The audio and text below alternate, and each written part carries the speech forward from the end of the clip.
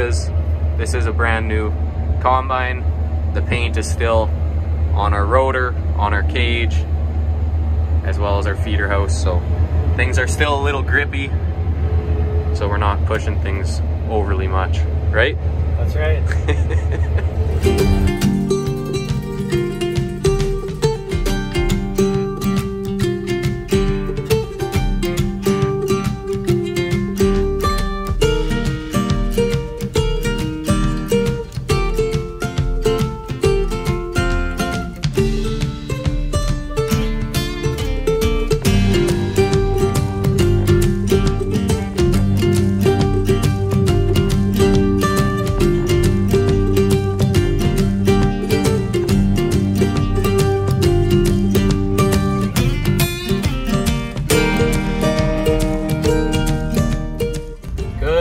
ladies and gentlemen, and welcome back to another video.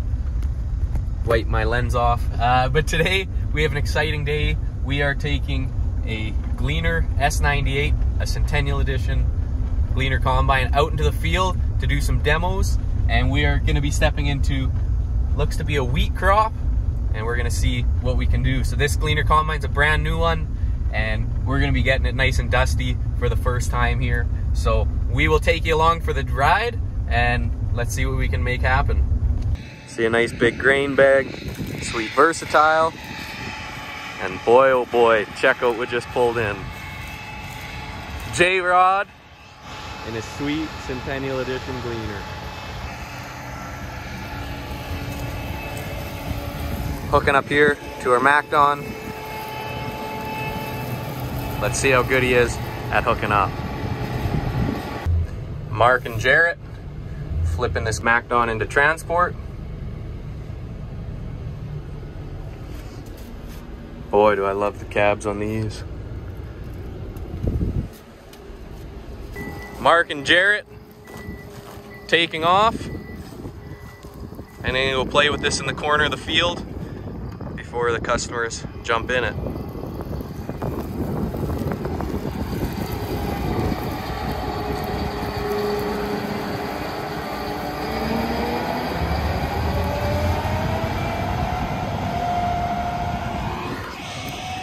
It's gonna be a good day.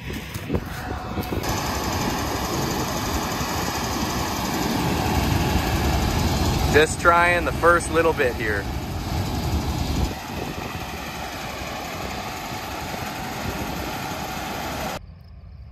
And now we got just the first little bit and we're having troubles with our flex and our hinge on our MacDon. So we got service was driving by and just happened to stop in pretty quick, which worked out nice. But for all you Massey guys, everyone watching, you're gonna love this next one. Check this out.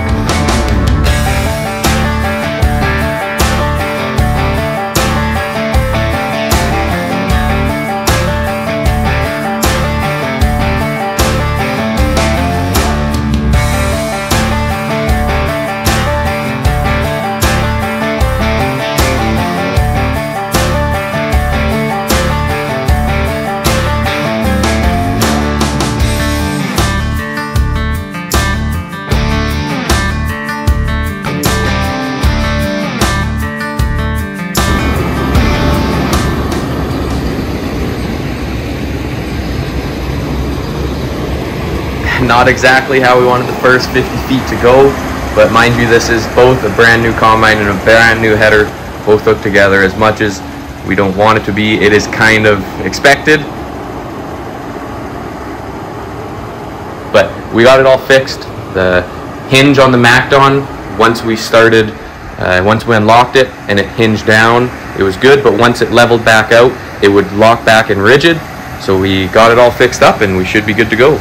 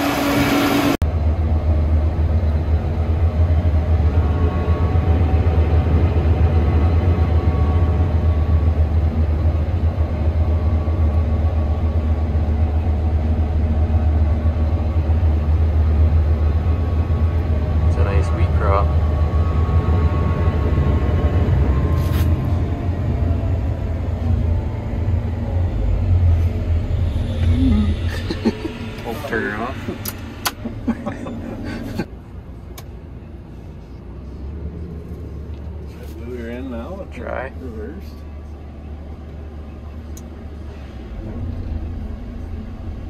Just oh, engine. Crank her up now. Give her some RPM. Just let her sit.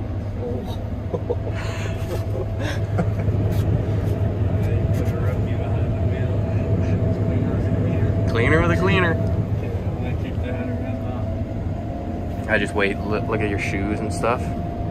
Just let her keep blowing.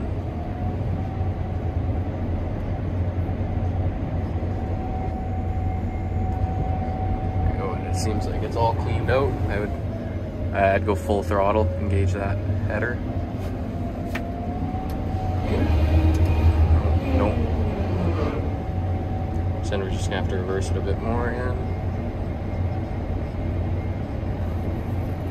Might have to pull some off. Yeah, I'll go grab some.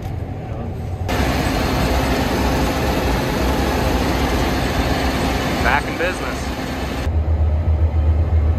The gleaner's getting all dusty.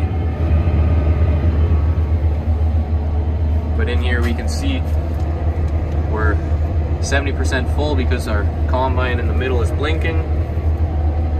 Got our GPS all set up. And it's smooth sailing right now.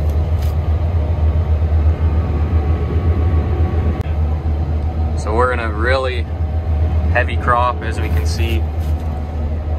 And we're going 3.8-ish, uh, running about that 75 to 80. We go a little bit faster, then it gets a little thicker to slow down, but it's running good. And we're trying not to push things too terribly much because this is a brand new combine. The paint is still on our rotor, on our cage, as well as our feeder house. So things are still a little grippy. So we're not pushing things overly much, right? That's right. We got the little swath we're picking up now.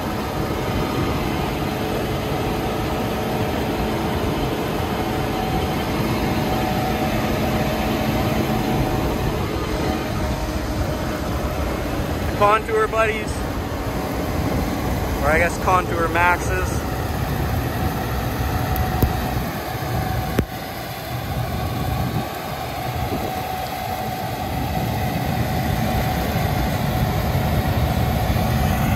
And that chopper is doing an awesome job with the straw.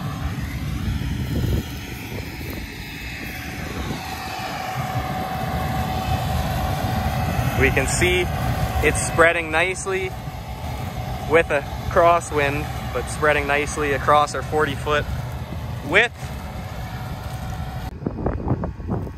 We're gonna be doing our walk around. We should also check out our auger extension that we put on this. Allow for a little more room with that 40 foot. And we opened up engine compartment.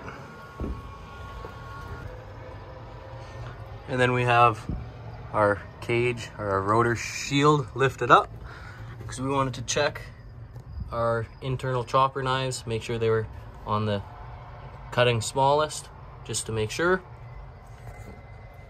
We can also see our accelerator rollers. On this combine, our augers to feed it, and then concaves, and our whole rotor. We can see that rotor still has paint all on it. So even our concaves, there's all paint still on the inside. So take it easy at the start here. Our reversing fan.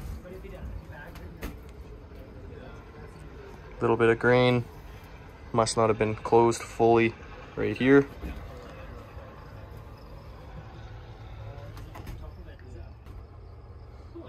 but a nice little nifty engine compartment. Can see your Agco Power engine.